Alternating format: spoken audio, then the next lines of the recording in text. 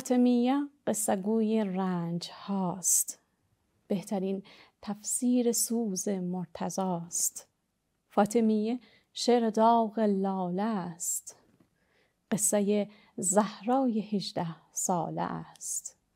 عرض سلام و درود داریم به محضر تک تک شما بینندگان عزیز و ارجمند و خوش آمد میگیم شما را به برنامه امروز روشانا عرض تسلیت داریم به مناسبت ایام سوگواری حضرت فاطمه زهرا سیدت نساء العالمین و پیشگاه همه شما بینندگان عزیز و ارجمند. امروز قرار است در برنامه روشانا راجع به خصوصیات بارز و اخلاقی حضرت فاطمه زهرا سلام الله علیها با هم صحبت هایی داشته باشیم و اینکه ایشان چگونه به عنوان الگوی تمام زنان عالم شناخته میشن. صفات اخلاقی بارز و برجسته ایشان در عرصه های مختلف زندگی چه در خانواده و چه در اجتماع برای همه ما واضح هست و به عنوان الگو همه زنان مسلمان تلاش می‌کنن که ایشان را سرمشق زندگی خود قرار بدن و در راستای مسیری که ایشان تعیین کردن گام بردارن در زندگی. امروز راجع به همین موضوع با هم صحبت هایی داریم. کارشناس محترم برنامه خانم عالمی با ما هستند سلام خانم عالمی خوش آمدیم به برنامه. در خدمت هستیم. بسم الله الرحمن الرحیم. هم عرض سلام دارم خدمت شما و همه بینندگان محترم. سلامت و عرض تسلیت دارم به مناسبت شهادت حضرت فاطمه زهرا سلام الله علیها. ان که بتوانیم در این روزها و روزهایی که و شبهایی که به عزاداری این بانوی بزرگ اسلام می‌پردازیم به افزایش معرفت و شناخت خودمون نسبت به شخصیت این بزرگوار هم انشالله تلاش کنیم. انشالله خب خانم عالمی قرار است امروز راجع به خصوصیات اخلاقی حضرت فاطمه زهرا سلام الله علیها با هم صحبت هایی داشته باشیم و ای که ایشان چه خصوصیات اخلاقی داشتن که به عنوان سیدت نساء العالمین شناخته میشن و یک الگوی جامع و کامل برای زنان مسلمان هستند بله خب در خصوص اینکه حضرت فاطمه زهرا یک الگوی کامل و بی و نقص. برای همه زنان مسلمان چه شیعه و چه سنی هست؟ خب در این قطعا شکی نیست و این واقعا شاید یک بخشیش برگرده به این که میگیم حضرت فاطمه زهرا سلام الله علیها هم دختر حضرت رسول اکرم صلی الله علیه و سلم هستن و از طرفی همسر بزرگوار حضرت علی علیه السلام و مادر. حسنین و ائمه اطهار. شاید این بخشش باشه ولی کن قطعا سوایی از این نسب و خاندانی که ایشان دارن خود حضرت فاطمه زهرا سلام الله علیها چون در این خاندان وحی تربیت شدن و همونجا بزرگ شدن و همسر بزرگوارشون هم که حضرت امیرالمومنین علیه السلام هم بودن. قطعا یک تربیت خاص و ویژه‌ای داشتن و خود شخصیتشون هم رشد یافته هست. یعنی بله. در کنار اون اصالتی که دارن شخصیت حضرت فاطمه زهرا هم قطعا از یک برجستگی هم برخوردار هست. در خصوص اخلاق که خب ما می‌دونیم که مخصوصا بانوان محترم خانم ها قطعا اینها نیاز به یک الگو و یک شخصیتی دارن که خب در باب اخلاق آن هم مخصوصا در محیط خانواده که یک زن خب بیشتر با افراد اعضای خانواده در ارتباط هست نیازمند این هست که خب یک الگو برداری داشته باشه و حضرت فاطمه زهرا قطعا یک نمونه خیلی بسیار کامل و قابل تأمین برای زندگی امروز حتی هست. یکی از ویژگی هایی که حضرت فاطمه زهرا خب داشتن و خیلی هم همه اون را قبول داره بحث این هست که حضرت فاطمه زهرا بسیار شخصیت عابد و زاهدی داشتن. یعنی بسیار اهل عبادت بودن در زندگیشون خب ما این چیزی که ما امروز می‌بینیم که در زندگی امروز خب یک زن وقتی که به وظایف بسیار زیادی داره در محیط خانواده. بله از همسرداری گرفته تا فرزندداری و گاهی هم می‌بینیم که زنان در امروز خود یعنی زنان زیادی هستن که حتی شاغل هستن. و بحث عبادت و بندگی خدا یک بحثی هست که نمی‌تونه هیچ چیزی از یک هیچ انسانی اون را بگیم دریغ کنه. و مخصوصا زن که محل پرورش عواطف و احساسات هست در خانواده. و بله. بحث عبادت قطعا تأثیر خواهد گذاشت. برای رشد خود شخصیت زن و کسانی که تحت تعلیم او هستند. درست است. و این رو ما می‌تونیم از زندگی حضرت فاطمه زهرا ببینیم در زندگی حضرت فاطمه زهرا ببینیم که ایشان در کنار اون همه خب می‌بینیم که مشکلاتی که داشتن این وظایفی که در خانواده خودشون داشتن باز هم به عنوان یک شخصیتی هست یعنی در عبادت و بندگی جزو کسانی هست که مثال زده, زده میشه و ما حضرت امام صادق علیه السلام میفرمایند که در بین زمان خودشون عابدتر از فاطمه زهرا کسی وجود نداشته. حتی امام حسن علیه السلام همیشه می‌گفتن که خب مادر من در زمانی که از سر شب از نصف شب شروع می شده ایشان شروع می‌کردن به عبادت تا سحرگاه. و به قدری بله. می‌گفتن ایشان عبادت می‌کردن که پاهایشان تاول می‌زده. یعنی در نهایت شما تصور کنید یک زنی که در طول روز وقتی که هم فرزند داره طفل داره و امور خانواده امور خانواده داره. وقت شما می‌دونین که وقتی کودکان پشت سر هم داشتن ایشان چهار تا طفل داشتن که پشت سر هم بودن و واقعا رسیدگی به اینها بسیار سخت است. و من و من و شما با اون یک مادر می‌تونیم درک کنیم که یک زن وقتی که پاسی از شب میشه واقعا چقدر نیاز داره به اینکه استراحت کنه تا بتونه او انرژی خودش رو برای روز بعد دوباره بازی و خصوص با او شرایط و کمبود امکاناتی که در اون زمان بوده. قطعا. یه امکانات هم تاثیر داره. ولی خب ما می‌بینیم که باز هم بحث عبادت و بندگی برای حضرت فاطمه زهرا از اهمیتی بسیار زیادی برخوردار بوده و با اون مدیریت زمانی که ایشان داشتن یعنی ایشان انقدر مدیریت زمانشون قوی بوده و دقیق بوده که می‌تونستن ای تا یک تایم رو برای عبادت در نظر داشته باشن. و واقعا برای ما زنان ای باید یک الگو باشه که بدونیم که در هیچ شرایطی ما بحث عبادت را نباید برای خودمون کمرنگ جلوه بدیم و بگیم که خب جهاد زن شوهرداری کردن است درست است. یکی از حدیثی است که بسیار معروف است و واقعا در جای خودش می‌تونه مهم باشه. اما اینکه یک زن در محیط خانواده سوایی از فرزندداری و شوهرداری بحث عبادت رو چرا که خود عبادت می‌تونه منشأ بسیاری از خیرات باشه در خود همین خانواده.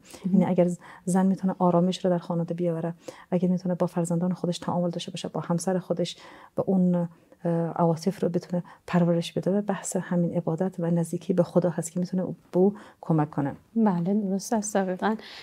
و چقدر زیبا گفتید خانم عالمی به عنوان بارسترین و اولین ویژگی که ذکر کردین بحث عبادت و ای که چقدر تاثیرگذار هست روی تربیت فرزندان ما که ما به عنوان مادر به هر حال سرمشق کودکان خود هستیم. به خصوص دختران ما میگن که هر هر طور که مادر رفتار کنه فرزندان هم به عنوان مادر به عنوان منبع تربیتی کودک از او الگو می‌گیرن فرزندان و چه خوب است که در مرحله اول یک مادر و یک زن مسلمان در بحث عبادت یک مدیریت خاص داشته باشه.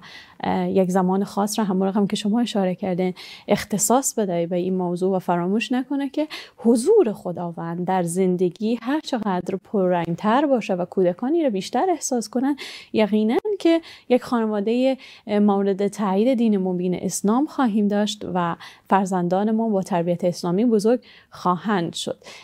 و از ویژگی های دیگه حضرت زهرا بر ما بگین خانم عالمی. خب با توجه به اینکه خب می‌دونیم که حضرت فاطمه زهرا تا زمانی که در خانواده پدرشون بودن خب و حتی بعد از اون هم می‌دونیم که دختر رهبر جامعه اسلامی محسوب می‌شدن. بله. یعنی هم که به عنوان یک تقریبا میشه گفت امروز ما می‌بینیم که میگن مرد اول جهان خب در اون زمان کی بود؟ حضرت رسول اکرم بود. و حضرت فاطمه زهرا در قیاب مادرش خودشون خب می‌تونیم بگیم که زن اول جهان اسلام بود و واقعا در اون زمان. یعنی بانوی برتر جزو بانوان برتر جهان اسلام بود. و ولی خب زندگی ایشان رو وقتی که ما این بررسی می‌کنیم می‌بینیم که بسیار زندگی زاهدانه و یک شخصیت وارسته ای داشتن بله. وارسته که میگیم یعنی اینکه از اموال دنیا از این هر چیزی که باعث می‌شد که یک شخص یک شخص در موقعیت خودش می‌تونه از اونها استفاده کنه ایشان کمترین استفاده از اونها را نداشت. امکاناتی که ایشان در زندگی خودشون داشتن با عنوان دختر حاکم اسلامی واقعا در حد این نام نبود. این یعنی نامی که شما ببینید در اون زمان ها خب حاکمان اسلام حاکمان در کشورها چطور زندگی داشتن؟ از نظر ظاهری؟ یعنی اون تجملات که داشتن. امکانات مادی اون امکانات رو واقعا برایشان بی ارزش بود و اون چیزی که برایشان ارزش داشت این که ببینه که هدف پدرشون چی بود. یعنی پدر بزرگوارشون چون رهبر جامعه اسلامی بودن. پیامبر اکرم صلی الله علیه و سلم خواستن فقط به این نگاه می‌کردن که خواست خدا چی بود و خواست پیامبر. و چون شیوه و سبک زندگی حضرت رسول اکرم هم یک زندگی ساده و دور از تجملات بود. دختر بزرگوارش هم دقیقا همون کار رو انجام دادن و این قطعا در وهله اول به خاطر این بود که خب شخصیت خودشون همینطور رشد پیدا کرده بود. و در وهله دوم می‌خواستن واقعا مراعات موقعیت پدرشون بکنن. چرا که مسلمانان در مرحل مراحل مختلف یعنی در هر زمینه به کی نگاه می‌کردن؟ به پیامبر اکرم نگاه می‌کردن و خاندانشون که اینها چطور زیست می‌کنن چطور زندگی می‌کنن رفتارشون و کردارشون با دیگران چطور هست. و ایران نمی‌خواستن که واقعا اون الگویی که پیامبر داشتن یعنی به عنوان نمونه بودن در ساده زیستی و اون رو واقعا رعایت می‌کردن مراعات می‌کردن که جهان اسلام مبادا کوچکترین شک و شبهی نسبت به اون ساده زیستی پدرشون داشته باشه. و چقدر خام عالمی شاید برای ما عجیب و شگفتانگیز باشه. این میزان از کنار آمدن با کمبودها و این میزان از ریاضت کشیدن در زندگی در وقتی که ایشان ما می‌بینیم اگر که دوستان در تاریخ خوانده باشن شیوه زندگی حضرت فاطمه زهرا سلام الله علیها می‌بینیم که بسیار با حالت اگر بخوایم ما در زندگی کنونی او را مقایسه کنیم چقدر بر ما شاید گهگداری غیر قابل باور باشد و این یقینا ناشی از ایمان درونی و او ایمان و قدرت اعتقادی بالایی بود که ایشان نسبت به خداوند داشتند. سپاسگزاریم از شما و همچنین از شما بینندگان عزیز که ما را همراهی کردیم. بریم و برگرده السلام علیک یا فاطمه الزهرا یا بنت محمد یا قرة عین الرسول. السلام علیک یا صدیقت الشهیده سلام بر شما حبیبه خدا. سلام بر شما بانوی عالمین. ما در ایام سوگوار ازای شما هستیم و دل سوخته غم شما. و به این فکر می‌کنیم که چقدر غریبانه و مظلومانه از فرزندانتان و همسرتان خدافزی کردید و این دنیای فانی را ودا گفتید. بر روزهایی میاندیشیم که حضرت علی علیه السلام بدون شما چطور زندگی را طاقت آورد؟ چقدر تنها بود که گپهای دلشه و رازهای درون قلبشه و چاه می گفت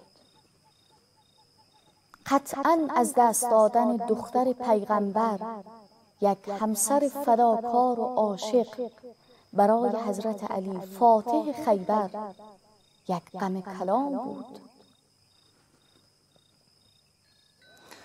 از همه روایات و روزه ها و زخم ها که بگذریم فاطمیه داستان یک جدایی عاشقانه است. همانطور که حضرت علی و تمنای خفته به کلامش در آخرین لحظات به یار خودش میگه کلمینی با ما گپ بزن. مادر جان ما فرزندان تو هستیم. ما سوگوار غم و عزای تو هستیم. در بیقراری های زندگی و دلواپسی های من تنهای من نگذار و دست دلمان بگیر و برایمان دعا کن. آخر میگن دعای مادر معجزه می‌کنه خب یک بار دیگه جا داره که عرض تسلیت داشته باشم به خدمت شما بینندگان محترم به مناسبت فرارسیدن ایام فاطمیه. امروز برنامه روشنا اختصاص داره به ویژگی های اخلاقی بانوی دو عالم حضرت فاطمه زهرا سلام الله علیها. رسیدیم به اینجا که بحث کنار آمدن با کمبودهای زندگی و قناعت خاص و ویژه‌ای که حضرت زهرا سلام الله علیها در زندگی دنیوی داشتن و به دور از تجمل گرایی بود خیلی وقتها خانم عالمی حالا بیایم در جامعه امروز اگر این ویژگی بارز حضرت فاطمه زهرا را با زنان امروز مقایسه کنیم و بیایم با هم رو راست باشیم. زنان امروز با توجه به اوضاع جامعه ما که حالا درگیر مشکلات اقتصادی است و میزان فقر در او شاید بیشتر از گذشته باشه ما می‌بینیم که چشم همچشمی ها یا داشتن یک سری تجمل گرایی ها باعث میشه که ما از همه ویژگی هایی که باید یک زن مسلمان داشته باشه دور شویم متاسفانه و نقش قناعت در زندگی ما کمرنگ بشه. این بسیار شاید مهم باشه بر ما که اگر بانوی به عنوان به نام حضرت فاطمه زهرا سلام الله علیها را داریم در رأس دین مبین خود و با عنوان سرمشق زندگی خود من فکر می‌کنم واقعا این بر ما شاید جای یک خلای بسیار بزرگ باشه که بخوایم چنین ویژگی را نادیده بگیریم در زندگی.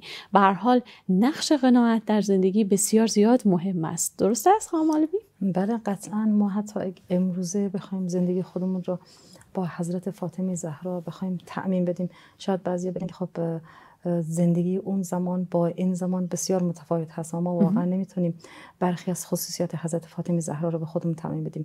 بله قطعا چون بعضی جا هست که مثلا گفته شده که سلمان میگه که وقتی ما وارد خانه فاطمه زهرا شدم دیدم فاطمه زهرا در حال آسیاب کردن هست بله. و امام حسن در آغوششون در حال گریه کردن بودن. و وقتی و دیدم که یک چادر بسیار کهنه و مندرسی بتن داشتن. این لباس های مندرسی بتن داشتن.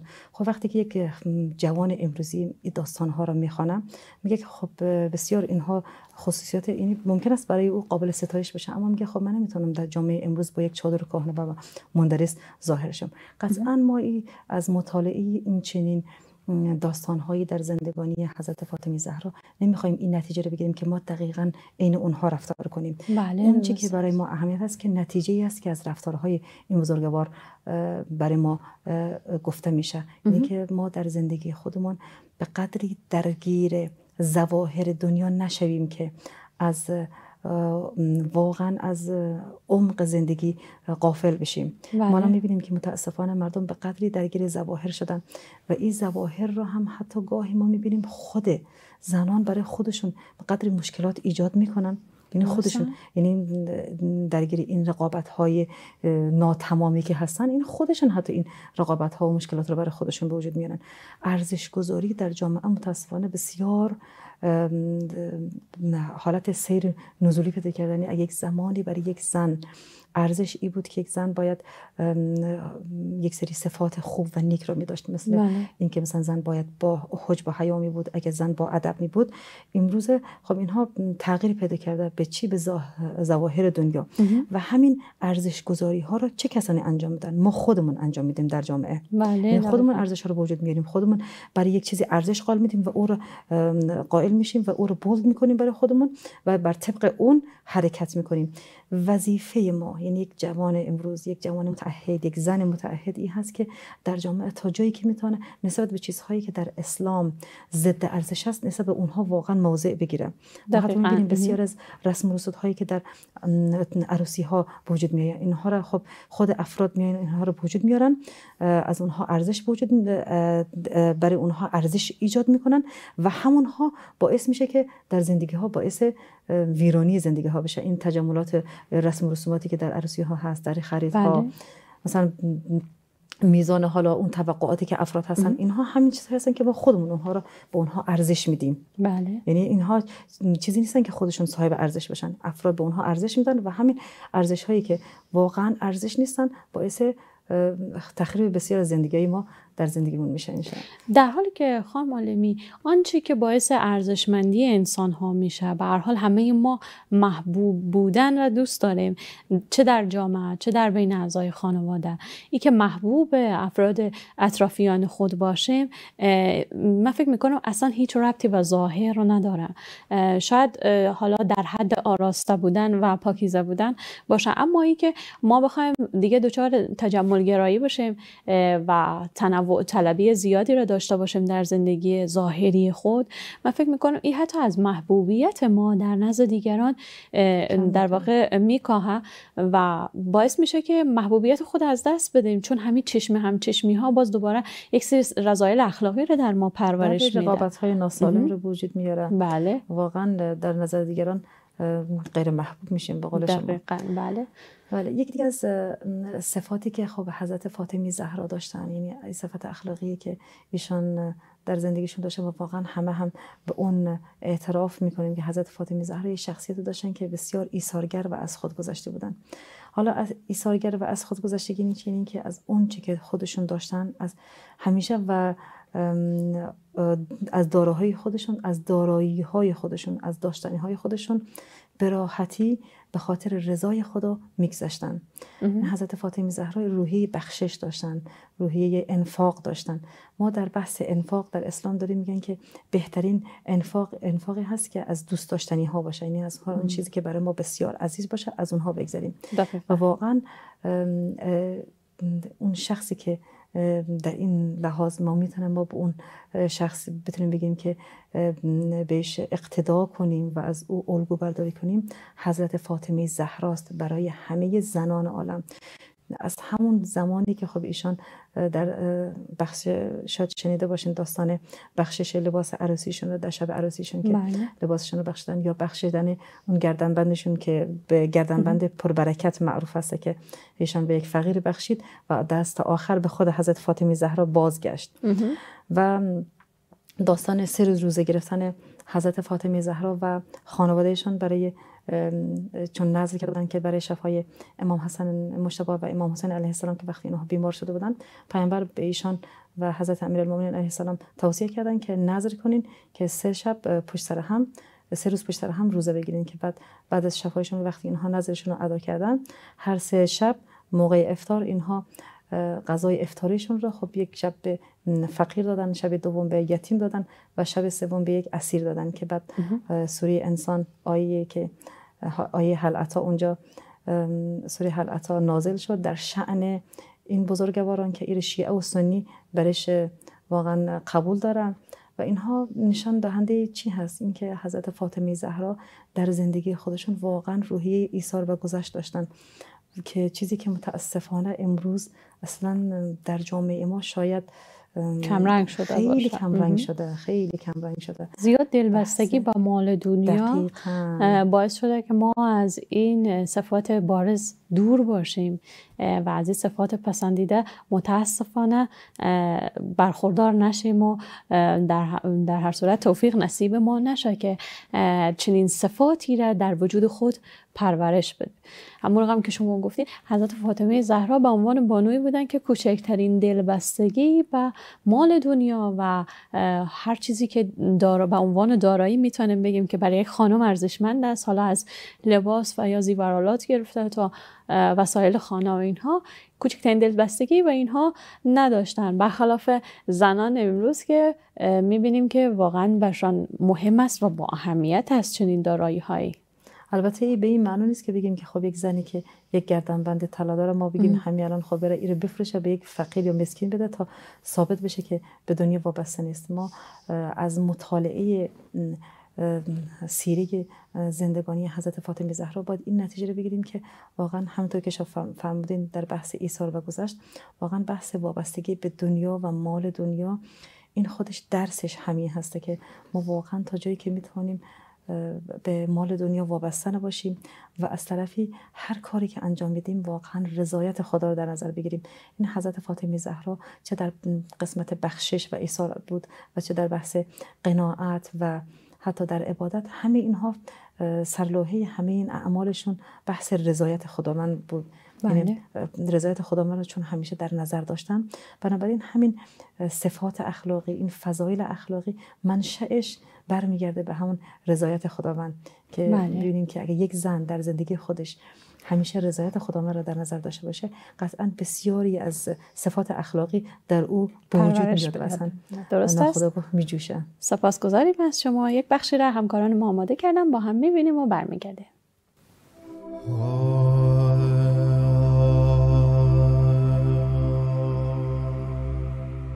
زندگی ملکوتی حضرت زهرا سلام الله علیها در عین ساده زیستی و قناعت سرشار از صمیمیت و احترام بود به گونه ای که ایشان همه اعضای خانواده را در کمال محبت و صمیمیت با القاب حسنه و نیکو صدا می زدن. یکی دیگر از راهکارهای تربیتی و شخصیت ساز بیبی بی زهرا سلام الله علیها مشارکت دادن فرزندان در کارها و مسائل خانواده بود. آن حضرت با برکت پیروی از پدر بزرگوارشان رسول اکرم صلی الله علیه و آله و سلم و عمل با آموزه های نبوی سرمشق بسیار درخشانی هستند برای خانواده های مسلمان و زندگی مؤمنانه.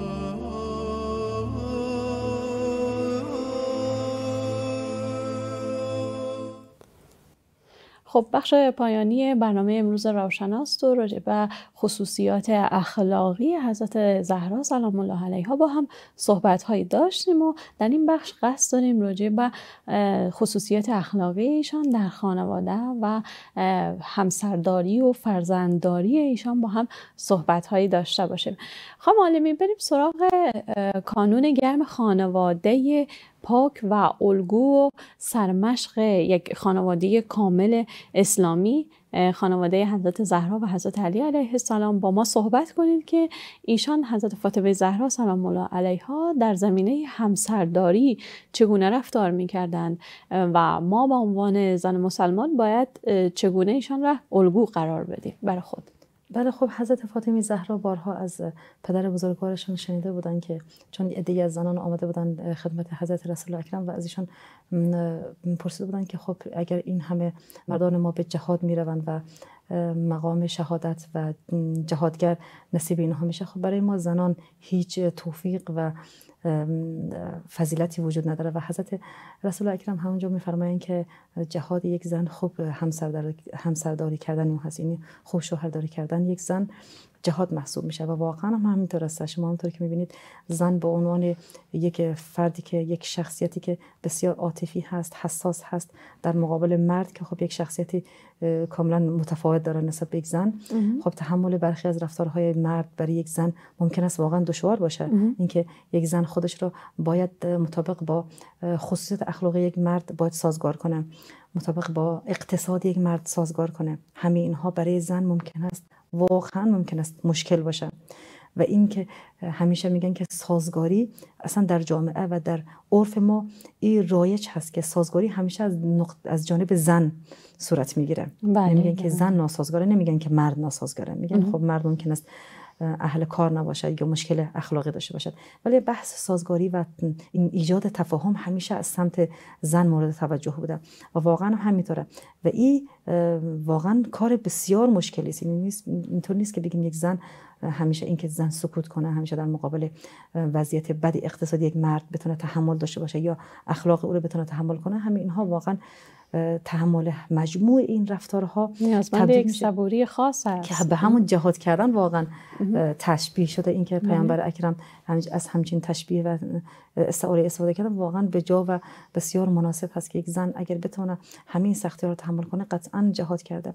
و حضرت فاطمه زهرا واقعا نمونه بارز این مسئله است که حضرت فاطمه زهرا در زندگانی با حضرت علی علیه السلام. قطعا حضرت علی کاملترین مردی بوده که یعنی شایسته ترین و مناسب ترین مرد بوده که در عصر خودش می‌تونست همسر حضرت فاطمه زهرا باشه. اما با موقعیت هایی که حضرت علی علیه السلام داشته اینکه حضرت امیرالمؤمنین همیشه این همواره در جنگ ها شرکت می‌کردن و بیشتر اوقات در منزل تشریف نداشتن. بله. و از طرفی خب با توجه به اون وضعیت اقتصادی که ایشان داشتن خب چون وضعیت اقتصادی عموم مردم در یک زمانی بسیار نامناسب بود و حضرت فاطمه زهرا مجبور بودن خودشون رو با, اون با شرایط. اون زمان وفق بدن و نمی‌تونستن واقعا با اینکه ام امکاناتش رو داشتن یعنی می‌تونستن از بهترین امکانات استفاده کنن. اما نمی‌خواستن که می‌خواستن همیشه با عموم مردم هم پا و هم قدم و همدرد باشن و اینها واقعا برایشون خیلی سخت بود. از اون طرف هم خب اطفال خرد زیادی هم داشتن و واقعا برایشون بسیار گاهی مشکل بود.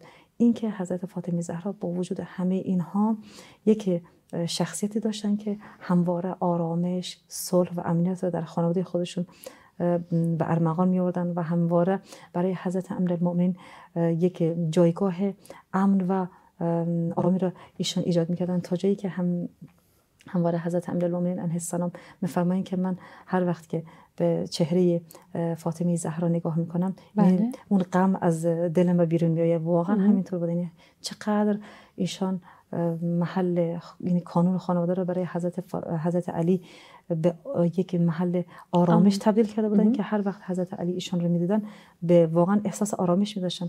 اون چیزی که ما متاسفانه می‌بینیم که در زندگی های امروز یعنی برخی از زندگی ها انقدر دچار تنش هست انقدر افراد یعنی زن و مرد به سر مسائل عاطفی و اقتصادی در حال جدال با هستن که اصلا شاید فراموش می‌کنن که به صورت همدیگه نگاه کنن که چه بسه که بخوان با آرامش برسن.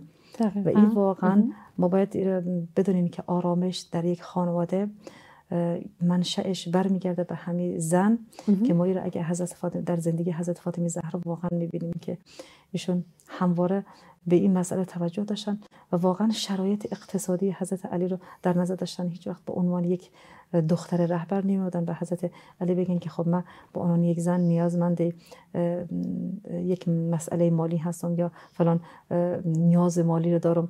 در صورتی که می‌دونستن که حضرت علی توانایی نداره و اونجا خب هیچگاه نیاز خودشون رو ابراز نمی‌کردن.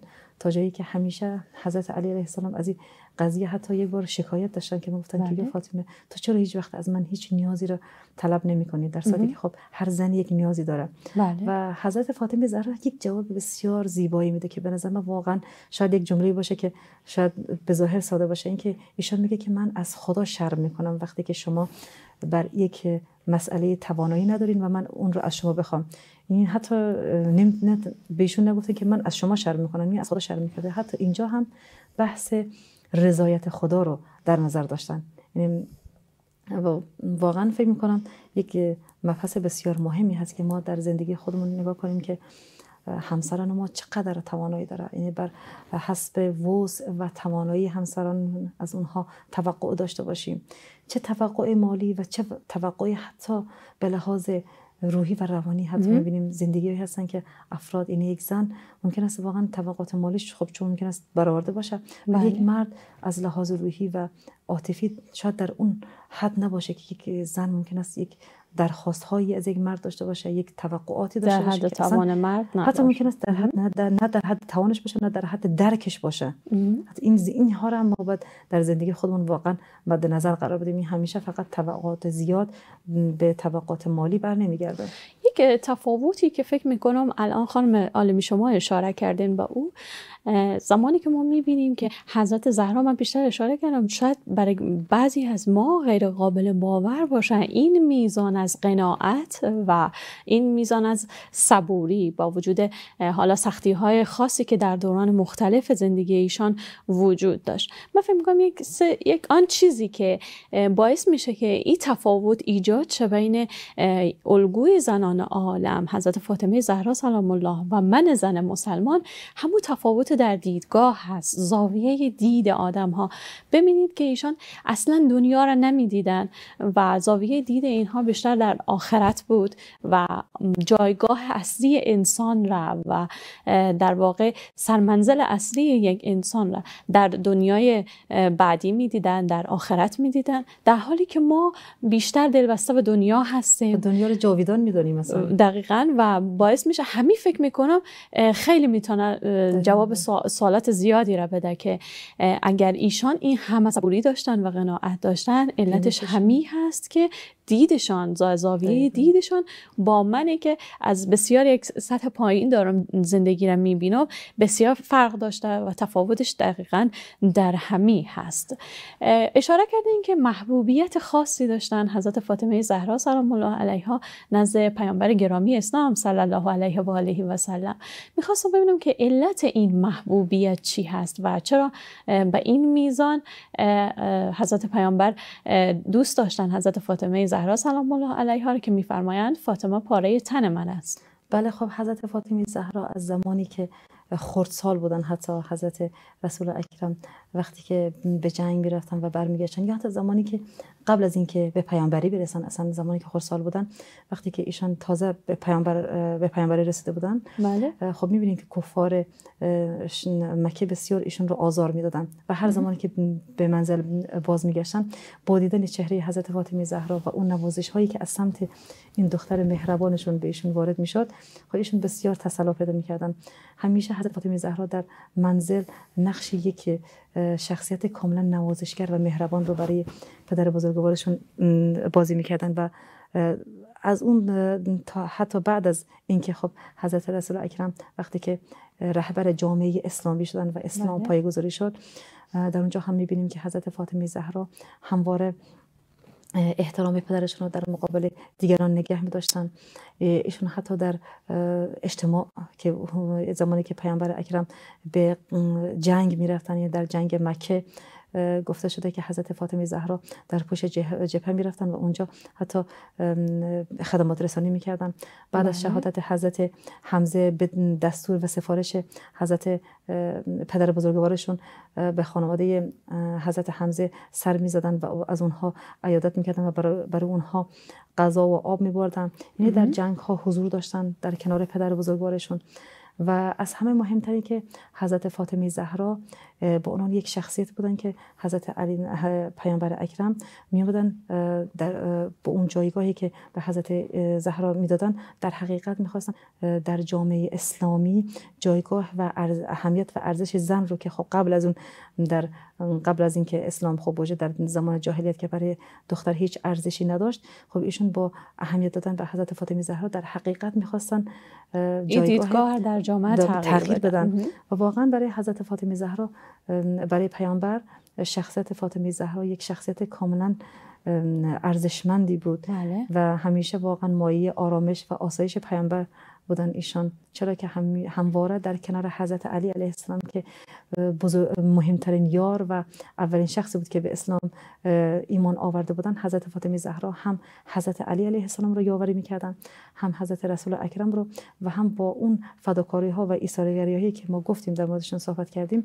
در حقیقت به ترویج اسلام ایشون کمک می‌کردن و واقعا همونطور که پیامبر اکرم فرمودن ایشون پای پاره تنشون بودن دیگه.